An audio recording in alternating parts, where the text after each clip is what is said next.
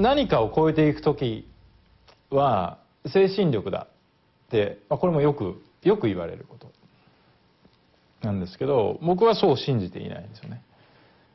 そんなに苦しい時、まあ、厳しいと自分が感じている時、まあ、弱っている時ですよねにその精神なんて強くなれないんですよ。で超えていけないんですよ。まあ、そういう人もいるのかもしれないです僕は基本的に人間はそんなことできないと思ってます。じゃあそれを超えるのは何かっていうとやっぱり技術だと思うんですよね。でそれを修正はもちろんしました。でそれによって、まあ、結果も出る。で気持ちもだんだんこう変わってくる。で今回もそうでした。はい